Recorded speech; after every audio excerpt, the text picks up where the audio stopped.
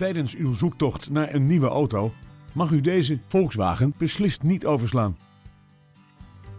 Dit is een splinternieuwe auto die nu uit voorraad leverbaar is. Deze bestelwagen is voorzien van praktische en comfortabele extra's, zoals cruise control, een navigatiesysteem en voorruitverwarming.